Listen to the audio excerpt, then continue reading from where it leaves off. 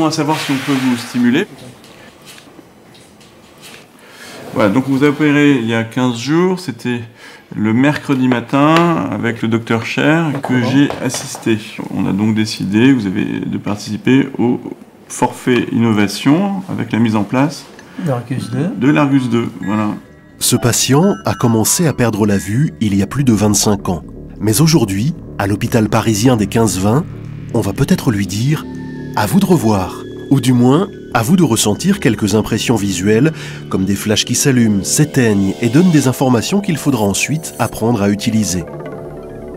À Bordeaux, Josiane, elle aussi, a reçu un implant Argus 2. Elle n'a pas encore appris à s'en servir, mais a tout de même essayé le système chez elle pour se faire une idée de ce que la caméra lui transmet il me tarde de faire la rééducation pour pouvoir ben, avancer dans ce projet, quoi. J'ai hâte. Mais là, je, oui, oui, je m'amuse quand je suis bien, que je le sens. je mets mes lunettes, je fais le tour de ma maison. J'aimerais être un peu indépendante, en fait, pas avoir quelqu'un au bras tout le temps. J'ai vu vraiment la, forme du... Enfin, j'ai, vu, j'ai aperçu la forme du, miroir. Là, là tu es là, c'est pas possible. Mais si, si, ma fille, j'ai tendu la main, sans toucher ce miroir. Et j'ai dit, Marina, c'est le miroir. Elle m'a dit, oui, maman. Et là, je, me dis, mais c'est pas possible. Je me dis, enfin, il y a quelque chose pour, pour nous, quoi. Ces implants sont réservés à des patients qui ont déjà vu et non à des aveugles de naissance. Le docteur Pierre-Olivier Barral pratique cette chirurgie depuis 2007 et il a accompagné les chirurgiens qui réalisent aujourd'hui ces opérations en France. Le but est de placer à l'intérieur de l'œil une petite plaque capable de communiquer avec une caméra la caméra va renvoyer l'information. Cette information va être envoyée au niveau d'un récepteur qui est placé autour de l'œil, qu'on voit ici, avec une antenne, et avec un récepteur et une antenne. Ensuite, à partir de ce récepteur, le signal va être amené au niveau de la rétine par un petit câble qui rentre dans l'œil, et euh, ce petit câble va jusqu'à une plaque d'électrode qui est posée au niveau du centre de la rétine, qu'on appelle la macula, là où reste le maximum de cellules euh, stimulables, qu'on appelle les fibres ganglionnaires. Alors, le système de fixation est original, puisque c'est un petit clou qui va euh, fixer la rétine. En fait, euh, donc euh, avec ce système, l'information électrique va donner des, des, impulsions électriques qui vont être ressenties par le patient comme des flashs visuels, et ces flashs visuels vont être transmis par le nerf optique jusqu'aux aires visuelles dans le cerveau. Il faut savoir que maintenant, on a plus de 150 patients qui sont implantés avec l'Argus 2 dans le monde. Et en France, dans le cadre du forfait innovation, on a posé notre 18e prothèse début 2016. Le forfait innovation permet de réaliser 36 implantations de prothèses rétiniennes, chacune coûtant environ 100 000 euros. Il a été mis en place par la ministre de la Santé, Marisol Touraine. Ce forfait innovation, il permet donc à des patients de bénéficier de traitements qui n'existent pas en étant pris en charge à 100% par la sécurité sociale. Il se trouve que dans le domaine des innovations, il y a des progrès spectaculaires qui sont actuellement réalisés, notamment dans le domaine de la vision. Quand un produit, quand un traitement euh, sont considérés comme euh, majeurs, comme importants, comme utiles, alors ils sont pris en charge par la sécurité sociale. Et c'est pour ça que je fais de l'accès à l'innovation, de l'accès aux soins, une priorité. Euh, il ne faut pas qu'il y ait de barrière d'argent. Le forfait innovation couvre bien sûr l'opération chirurgicale, mais aussi la rééducation des patients. Ils doivent apprendre à tirer parti des sensations que la prothèse envoie à leur rétine. Les patients opérés à Strasbourg suivent la première partie de cette réadaptation à Nancy. Brigitte Georges est responsable du service et Angéline Vac est orthoptiste. Alors ici, vous êtes dans le parc du Centre d'éducation pour déficients visuels de Nancy. C'est un établissement qui accueille des enfants, un établissement médico-social qui accueille des enfants déficients visuels euh, dans le cadre de l'accompagnement de leur scolarité, de leur éducation et de leur rééducation. Et il y avait un manque au niveau des adultes, euh, puisqu'il n'y avait en Lorraine aucune euh, structure répondant aux besoins des adultes qui perdaient la vue. Euh, en tant qu'orthoptie, je pense qu'on a les bases pour effectuer cette euh, réadaptation. Le travail avec les patients euh, qui ont un implant, c'est ça va être différent, mais en même temps, ça va se rejoindre d'un point de vue de la rééducation. Il y a des choses qui vont se retrouver un petit peu similaires. On est quand même aussi dans une même démarche de progression. Euh, d'apprendre à explorer l'espace, à bien balayer euh, avec le système, tout comme on pourrait apprendre euh, aussi à bien balayer quand on a un champ de vision très restreint. Donc il y a des choses qui se recoupent avec une rééducation classique en basse vision et puis bien sûr des choses nouvelles. Aujourd'hui, Angéline Vac reçoit Patrice pour sa sixième séance de rééducation en orthopsie. Il a juste dépassé la moitié de ce programme, au cours duquel le travail se fait en grande partie devant un tableau noir magnétique. Le but est d'interpréter les différents flashs lumineux que le système lui fait ressentir selon ce qui se trouve devant la caméra, placée au milieu des lunettes. Vous allez déjà faire le tour du tableau pour ah, repérer les bords. On s'imagine une lumière qu'on allume et qu'on éteint, si vous voulez. Voilà, là on l'allume. Hop, et là on l'éteint. À Bordeaux, Jacques en est à sa dixième séance avec l'orthoptiste Thibaut Fourteau. Les centres de rééducation, qu'ils soient à Bordeaux ou à Nancy, suivent le même protocole de progression et appliquent les mêmes techniques. Vous commencez bien en haut à gauche, d'accord Vous respectez bien les différents balayages. Parce qu'à mon avis, elle ne serait pas. Elle est plutôt en diagonale que pas si j'ai raison. Je sais pas, je suis pas sûr. Quand vous avez bossé là, vous avez fait le balayage latéral, horizontal, le vertical, en fait vous êtes arrêté au niveau de la bande, vous n'êtes pas allé jusqu'en bas. Oui. Et en fait vous avez pensé que c'était la bordure, la bande, mais c'était la bande. C'est possible. Ouais. Si je regarde bien, c'est vrai que le tableau il va plus. Voilà. Donc là du coup, il s'agit de quoi? D'une bande oblique ou, horizontale? Ah non, horizontale. voilà. Allez me pointer l'extrémité droite de cette bande s'il vous plaît. L'extrémité droite. Un peu plus haut. Là. Plus haut. Je suis un peu bas. La coordination euh, œil-main n'existe plus. Enfin, ne devrait plus exister. On passe sur une coordination caméra-main. Donc du coup, c'est intuitif d'aller pointer ce qu'on perçoit euh, dans l'axe des yeux. Si on a les yeux à droite, on va aller euh, la main à droite. Tandis mhm. que là, en fait, quelle que soit la position des yeux, c'est tout le temps le centre de la caméra. C'est pour ça qu'il faut partir à peu près du nez pour trouver le bon axe comme ça. Parce que des fois, il passe le doigt devant, on se voit le doigt, et on se bouffe le... On oublie de... Voilà. Donc ça au début c'est un exercice qu'on fait de pointage pour avoir un pointage précis. Et puis après ça devient de plus en plus intuitif. Et d'ailleurs on peut faire un exo sans, sans partir du doigt et il réussira je pense à trouver le, à trouver la bande sans partir du, nez. Mais en partant du nez, c'est quand même beaucoup plus précis. C'est-à-dire qu'on affine vraiment le pointage et on est plus précis. Quand on va vouloir attraper un verre rempli d'eau, euh, si on va être sûr de ne pas faire une bêtise, ben on va euh, essayer d'avoir un pointage très précis. Et si on nous ramasse un objet qui n'est pas fragile et qui est plutôt gros, on peut partir de manière intuitive euh, sans se baser à. Oui, c'est pour que la main aille de suite là où il faut. C'est ça par rapport, il faut. Voilà. Parce que ça aussi, on a des fois, on oublie de baisser assez la tête, parce que c'est vrai, comme les tangos, il faut vraiment baisser la tête et non pas baisser les yeux. C'est ça, parce que les yeux, on peut les baisser, mais la caméra, elle ne baisse pas pour autant. C'est bon? Alors, presque, presque. voilà, c'est bon.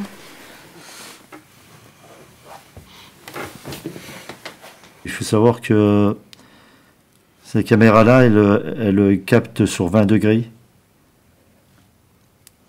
Donc forcément, si je m'approche de la, de, la pièce, ça va la réduire, hein, c'est ça euh, bah, hein, Je pense plutôt que euh, plus on s'approche, euh, moins on voit de choses dans la, dans la caméra, dans les 20 degrés de la caméra. Mm. Quand on prend du recul, on fait rentrer plus de choses dans, voilà, sur les dans le champ de la caméra. Mm.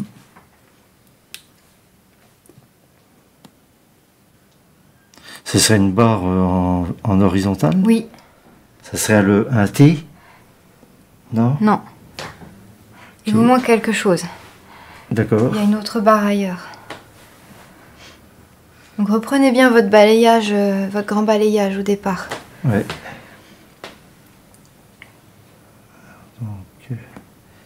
Donc à gauche euh, verticale, à droite verticale. Un U Ça pourrait. Ce qui change, c'est la position de euh, la ligne horizontale. U à l'envers Non, même pas. Euh, non. Ah, ça serait un H Ouais. C'est beaucoup de concentration et d'attention. Et à un moment donné, euh, enfin pour moi, ce qui me concerne, c'est qu'à force d'essayer de, chercher, de chercher et de, et, de voir le flash, je me demande encore s'il est encore là ou pas le flash. Allez, on va passer sur, euh, sur les formes géométriques. La forme creuse, je dirais qu'elle est à gauche. Parfait. Et à droite, c'est creux ou c'est plein? Et à droite, à mon avis, c'est plein. Je vais vous dire, celle de gauche, c'est parce que je vois des lignes. Tandis que si je regarde à celle de droite, je vois une, comme une, une grosse lueur blanche, quoi disons. Ça flash plus, plus en volume blanc, disons. Voilà. au premier coup d'œil, des fois, c'est vrai qu'on a un aperçu comme ça au balayage rapide. J'ai des sensations de voir au premier coup. des fois, c'est la bonne. Des fois. C'est souvent la bonne, quand même. Oui, c'est hein souvent la bonne, mais comme j'hésite tout le temps, et après, plus je cherche, plus, euh, plus c'est difficile. Donc, j'ai posé un objet.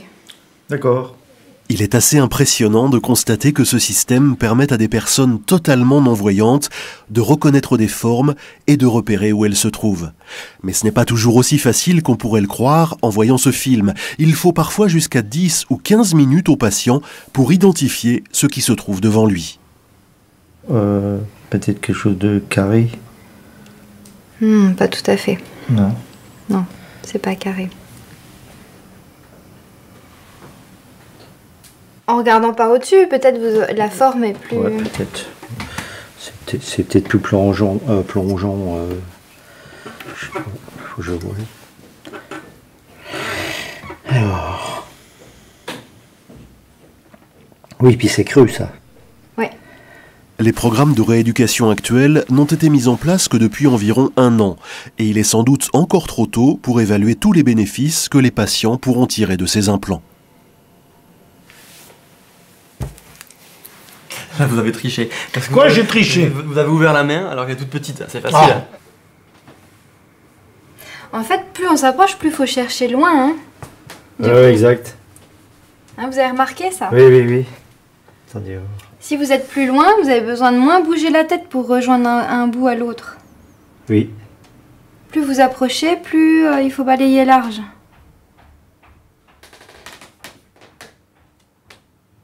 Passer d'un, de la gauche à la droite. Ça va être là, non? Ouais, pas mal. Tout petit peu à gauche. C'est bon, vous y êtes. D'accord. En fait, vous allez vous servir des plafonniers pour essayer de marcher au milieu du couloir. Je vais vous montrer?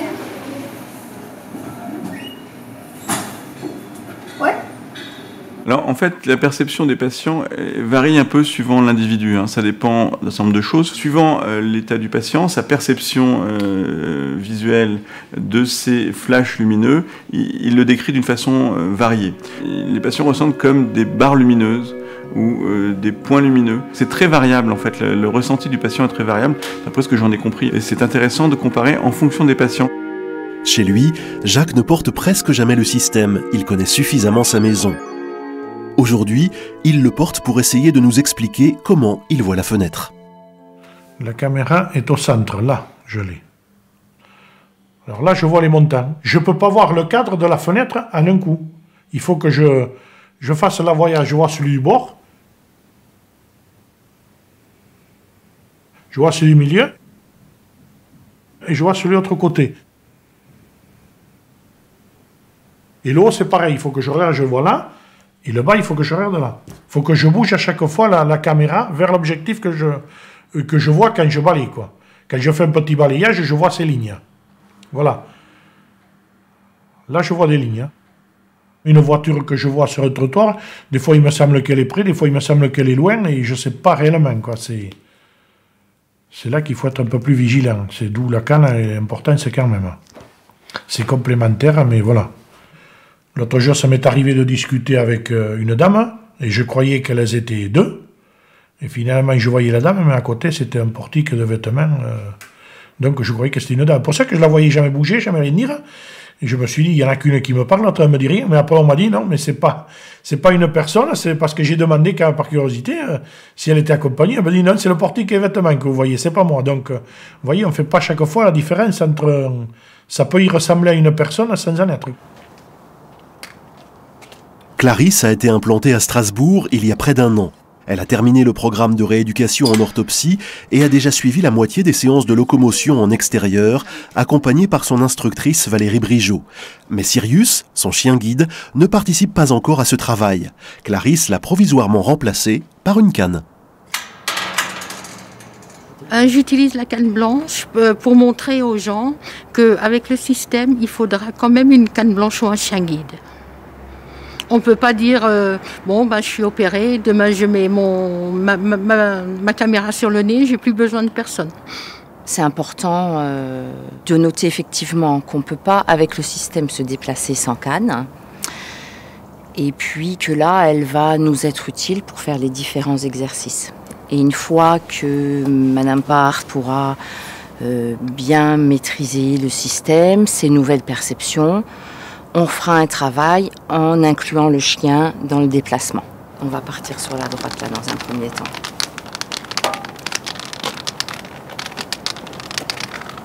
On est parti. Hein. Votre parking.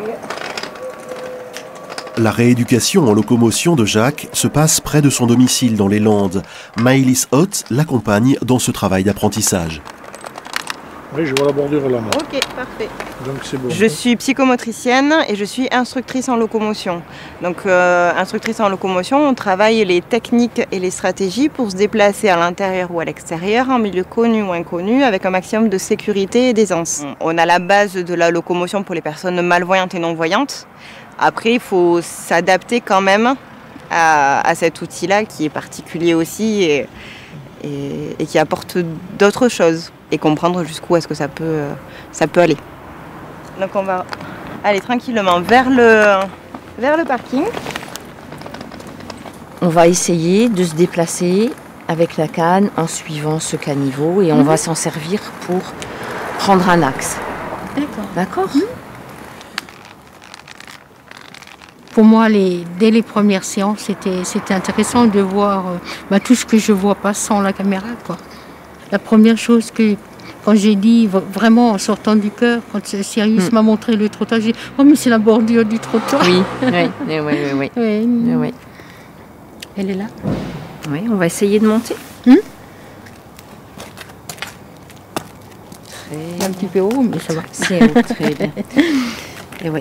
Et là, le, système, il n'arrive pas à évaluer forcément hein, la hauteur du trottoir. Ça, c'est le travail de la canne. Oui, oui, bien hein sûr.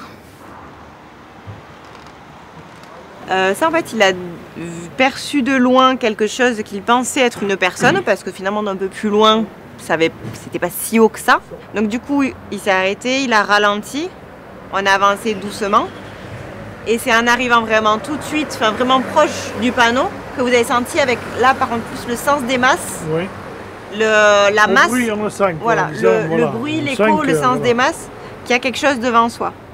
Mais en tout cas, voilà, visuellement de loin, ça a mis en vigilance. Il a pu anticiper les choses. On a, on a, on a avancé vers cet obstacle-là quand même pour vérifier ce qu'on avait perçu, parce qu'on en est vraiment là dans le travail de rééducation, vérifier chacune des perceptions. Et, et ça aurait pu être quelqu'un, mais c'était un peu grand quand même. C'est une pointe? C'est une pointe, très bien. Ouais, donc c'est un triangle. C'est ça, c'est ça. Parfait. Alors là, ce qui est intéressant dans cet exercice-là, c'est en plus des perceptions sensorielles, visuelles que ça permet, c'est aussi de se réhabituer à bouger la tête. Hein. Vraiment à regarder en hauteur, sur les côtés, de faire un balayage efficace. Parce que souvent, on prend l'habitude de plus trop bouger la tête dans ces déplacements quand on n'a plus la vision. Oui, oui, hein, tout à fait. Voilà, ça, c'est vraiment. moi, je suis mon chien, et puis c'est tout. Jacques a du mal à repérer les plots en demi-sphère qui longent les rues proches de chez lui, malgré ce qui nous semble être un assez fort contraste entre leur couleur et celle du trottoir. Manifestement, la qualité de la lumière et la brillance des objets ont aussi leur importance. Avec l'appareil, c'est euh, surtout la réverbération de la lumière qui flash Quand, euh, même si c'est très contrasté, quand c'est mat, c'est compliqué. Enfin, il semblerait que, que ce soit compliqué. On va essayer le prochain. En général, oui. C'est ça. On dirait que ça bouge un peu. On dirait que ça bouge un peu Oui. Vous me remontrez où c'est? Là? C'est du côté là, ouais. ouais. C'est ça. Là, il y a quelque chose? Là, il y a quelque chose. Et alors, si je fais comme ça, est-ce qu'il y a quelque chose de particulier? Ça bouge là Ça bouge là? Ouais. D'accord. Et euh, vous arrivez un petit peu décrire euh, ce qui se passe dans le mouvement?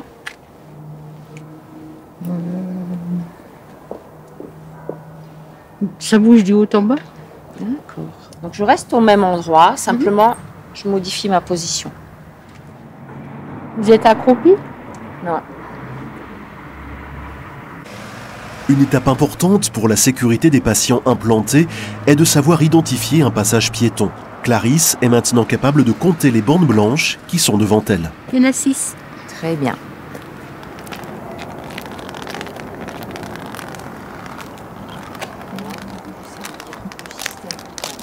La difficulté de notre travail, rééducateur, c'est vraiment d'essayer de comprendre ce que la personne perçoit pour pouvoir lui expliquer.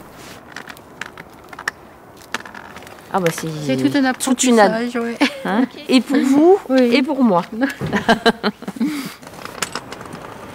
Deux fois, je me pose la question. Est-ce que je les imagine quand je le sais ou est-ce que je les vois vraiment quoi? Alors, au fur et à mesure, vous allez plus imaginer les choses. C'est-à-dire qu'au tout début, vous allez percevoir juste des flashs. Oui. Et certaines personnes, à force de- de- d'expérience, Oui. euh, vous allez recoller les images mentales que vous aviez Oui. sur ce que vous percevez.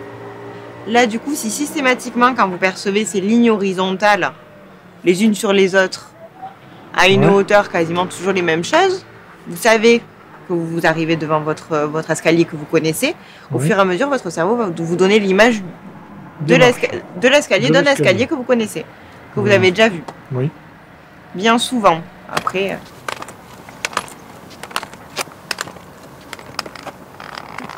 Je pense que quand on a commencé, on ne savait pas exactement ce qu'on allait proposer comme bénéfice aux patients. C'est une chirurgie qui était complexe, euh, qui était longue. J'ai trouvé que les patients étaient euh, courageux, oui, courageux, de se lancer dans une aventure en fait, qui était une aventure euh, pour nous, pour eux, avec un bénéfice qui n'était pas défini. Surtout les premiers patients de, de, de l'étude. Alors c'est des patients qui étaient malvoyants, mais ils sont décidés, ils sont lancés pour différentes raisons, des raisons personnelles, mais des raisons aussi de recherche et puis de pouvoir montrer à, leur leur euh, famille que les choses avançaient et que pour leurs enfants, parce qu'il y a parfois des familles où les enfants sont aussi atteints. Moi, j'ai vu, j'ai discuté d'ailleurs tout à l'heure avec un patient qu'on va opérer dans, un mois. Euh, il m'a dit, moi, je le fais, euh, même si je sais que ça va encore évoluer, c'est que dans 5 ans, dans 3 ans, ça sera certainement mieux. Je le ferai pour, mes neveux qui sont aussi atteints de la même maladie que moi, qui sont pas encore aveugles, mais pour leur montrer qu'il il faut faire confiance dans la science, faire confiance dans, dans le- les progrès de la technologie et de la recherche. Non, il ne faut pas quand même donner des informations comme c'est miraculeux à dire bon, vous mettez le système, vous allez voir, vous allez vous déplacer. Non, pas quand même. Il va falloir travailler un peu avant de pouvoir euh, se déplacer. C'est complémentaire, mais c'est pas. Maintenant, un clouté sur la rue, oui, on arrive à trouver un peu, ça peut aider, quoi, disons. Voilà.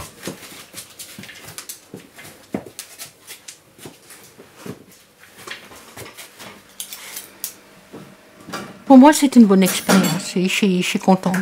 Bon, je, je- je ne sais pas comment ça va être plus tard, quoi.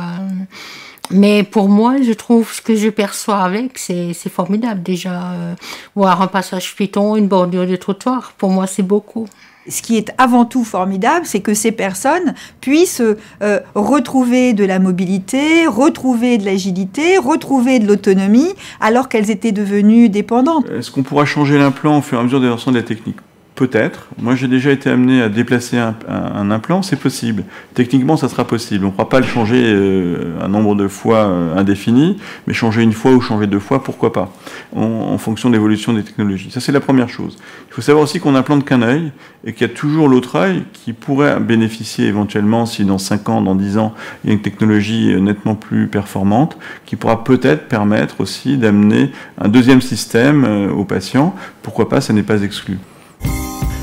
Pour de plus amples informations, vous pouvez contacter l'Union nationale des aveugles et déficients visuels au 0800 940 168 www.unadev.com. Pour retrouver toutes ces informations ainsi que d'autres, le site internet de France 5 est à votre disposition www.france5.fr slash à vous de voir avec des tirets slash. Ou écrivez-nous à vous de voir, France Télévisions, Paul France 5, 10 12 rue Horace Vernet, 92 130, ici les Moulineaux, CEDEX 9. Auteur, réalisateur, Philippe Dorison. Producteur délégué, Emmanuel Schlumberger. Avec le soutien du Centre national du cinéma et de l'image animée et de l'UNADEV. Avec la participation de France Télévisions. Presse, Valérie Blanchet. Production, Céline Raffestin, Thomas Bonnet.